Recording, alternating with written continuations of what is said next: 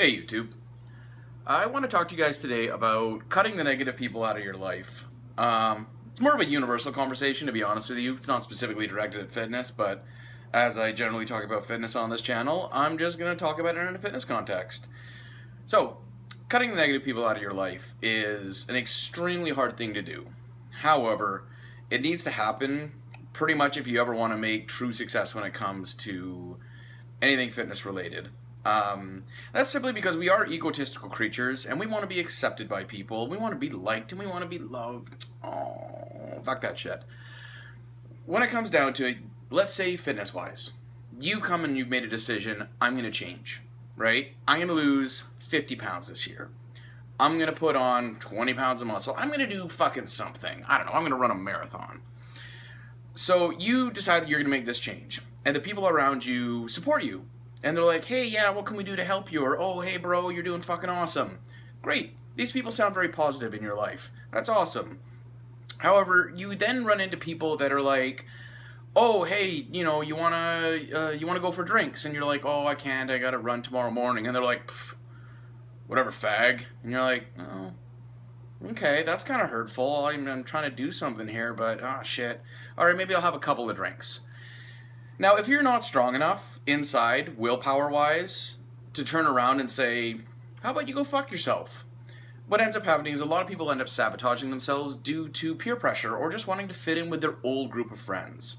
Or the people that they've had around since high school, or maybe they're new friends. I don't know. You're trying to impress them.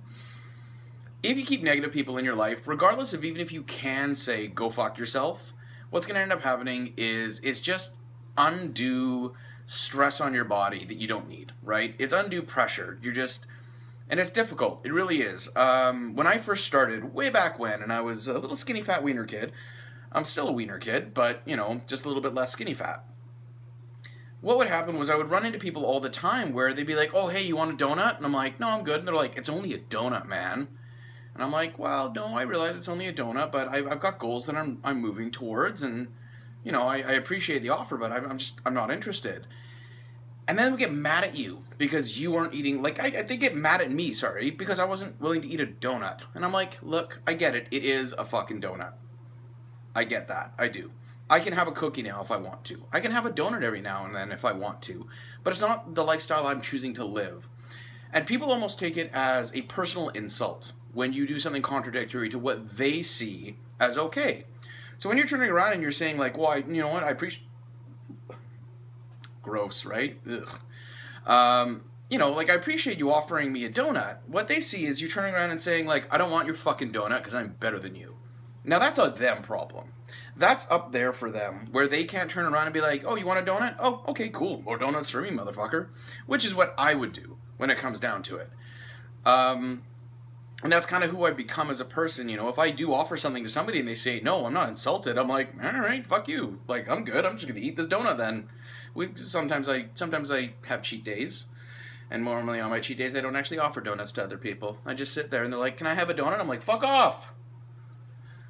Anyways, so cut the negative people out of your life simply because they are not going to understand what you want, and they're either going to make you feel bad for the decisions you're making where they're like, what, you can't have a drink? What, you can't have a donut? What, you can't have a fucking cookie? It's a cookie. Great, get that. I'm not retarded. I actually have, like, you know, a mod modicum of an IQ. I understand that it's a single item. But having said that, that's not where I'm going with my life. And I'm not insulting you for where you're going with yours.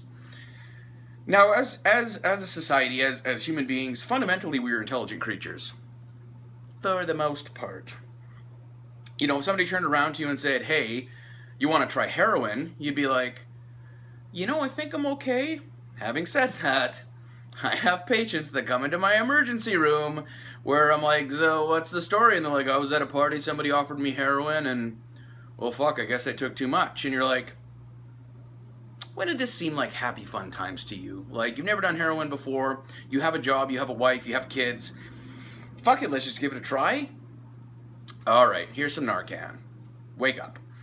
Um, but I mean that I'm not shitting you. That's like that true story. That shit happens all the time. It's kind of sad.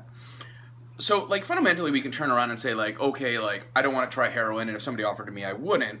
But when people because we're very judgy, judgmental creatures, and I say creatures because we are a fucking we are creatures in society. I sometimes value human beings less than I do most animals, simply because, uh, yeah, my sister's dog loves me for me, and I can have fun with that dog, whereas other people will look at me and be like, oh, I am instantly making a judgment on this person because he lifts weights. Oh, I'm making a judgment on him because of this, without ever getting to know you. Fucking dogs don't really give a shit.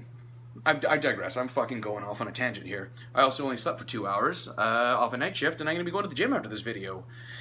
So, when you decide to do something against what somebody wants or values, they're going to take it as an insult. They're going to make it. They're not. They're not going to make it about you. They're going to make it about them. And they're going to turn around and say like, "Oh, you don't want my blank.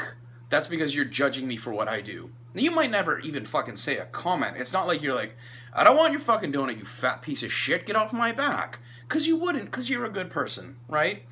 But they're going to see you saying, politely saying no as judging them for eating their donuts, and then they're to lash back out. And that's when you hear people like, once again, it's only a fucking donut. And you're like, yeah, look, once again, I realize it's a donut. The most support I've ever gotten is from random people at the gym. And that's not true. Technically speaking, I have a couple really close friends that no matter what I've done in my fitness journey and what I continue to do today will always support me 100%. I can tell them anything. I'll be like, hey, I'm giving up heavy lifting and I'm going to run a marathon again. Fuck that shit. Never. That's never happening. And they'd be like, awesome, bro. Like, fucking give her shit. Whereas, you know, other people might turn around and be like, why are you giving up on heavy lifting? I thought that was your thing. And you're like, because I don't want to fucking lift anymore. Maybe I want to run a marathon. Like, why can't you just be happy for me? People are always going to be negative and hold you back. And if somebody sees you accomplishing something that they aren't willing to or something they wish they could attain, but aren't willing to put the effort in, they're going to try and bring you down to their level. And it's a fundamental human truth for the most part that people will do this. They'll try to bring you down to their level. They'll try to hammer you into the ground so that you stay where they stay. Because then they're like, no, no, John and I are on the same fucking level because John can't lift weights heavy because I've been holding him back, and I can't lift heavy weights because I'm too lazy. Therefore, my friend John and I are good friends. Whereas it's like, wow, John lost like 100 pounds of body fat and put on 100 pounds of muscle. I wish I could do that. Was John think he's fucking better than me? Because people are ignorant pieces of shit. So, wow, this has been seven and a half minutes of me ranting. Cut negative people out of your life, guys. Uh, it is very difficult to get ahead with anything, whether it be financial, spiritual, emotional, physical, if you have people in your life who aren't there to support you. And it's tough. And for the most part, like, even like financial, yeah, people will support you for the most part, but if you start making a lot more money than you, they tend to get jealous because now you can afford stuff they can't. Physical, we are a very physical driven society, despite um, you know what we what a lot of people try to do these days against that. Like we love our biggest loser. We love watching those people, you know, lose 150 pounds, and we're like, oh wow, that's fucking amazing. Like good for them. But if any of your close friends were to make like minor gains, people get jealous because they're like, well, I can't fucking do that. It's bullshit. Like, it's very difficult to get ahead, right? You need you need positive people in your life that have like-minded goals that are going to go ahead and push you forward in life. So get rid of the negativity. Get rid of those people that hold you back. I'm not saying the first time somebody offers you a donut, tell them to go fuck themselves and cut them off forever. But if you notice that people are trying to sabotage your journey and, and trying to make you feel bad for the decisions you make or just not understanding that no, you don't want this and you have other goals, maybe consider distancing yourself. Um, it's what I've had to do just simply because I, I get tired of being told negative shit or have negative shit said to me. And another fundamental human human truth is people will say some like next level stupid heinous shit to you and not think like that was pretty fucking rude, you know? Like I probably shouldn't have said that but they'll turn around, they'll make a comment, and you're like, hey, that was really mean. They're like, no, it wasn't. And you're like, yeah, no, it really was. If I had said that to you, you'd have been really fucking offended. But they don't want to think that what they say is offensive, or maybe they don't even give a shit. So distance yourself from the negativity. Surround yourself with positive people that are that have like-minded interests, or just simply support you in your goals. Right? I mean, I have I have people that don't lift weights at all, don't do anything physical that support me in my goals, more than friends that you know, quote unquote, go to the gym and lift weights that don't really give that much of a fuck. That's what it comes down to, guys. Pick like-minded friends. Pick or pick friends that are going to support you no matter what. Get rid of the negative people out of your life. Because nothing's going to hold you back in life more than those negative comments either sitting in the back of your head or having to hear it over and over and over and over every fucking day, which sucks. If you got the willpower to turn around and just tell somebody to go fuck themselves, awesome. Like, give her shit. I've had to do it a lot. You know, when people just have to be told that, and then they're like, wow, that was mean. You're like, no, what you're doing is mean. I'm just putting you in your place now. Boy, wow, 10, 10 and a half minutes of me just ranting about getting rid of negative people. You're stronger than this, you're better than this, and no matter whether you succeed or whether you fail, keep forging ahead, cut the negativity out of your life, get rid of those people, surround yourself by people that support you and want want you to succeed no matter what your fucking goal is. If your goal is to become the next major, you know, CEO of fucking Microsoft and you're like 35 and it's like fuck, that's going to be a hard journey, but I'm there for you no matter what the entire way through. It's not that I specifically think you're going to do it, but I'm not going to tell you you can't. I'm going to do everything I can to help you. Keep that fucking person around. But if you turn around and you say that and they're like, bro, you're never going to fucking do that. You're not that smart. You're not charismatic. You don't even have the right education. They start off with that negative bullshit out of their mouth, kick them to the fucking curb. Get rid of them. They're not worth your time. That's it, guys. Questions and comments down below. Sorry this went on for long enough. I'm sure people wanting, are going to fucking finish this video because it was way too long with me talking to the camera. Uh, yeah. Get rid of the negative motherfuckers, man. Like, they will do nothing but bring you down in life.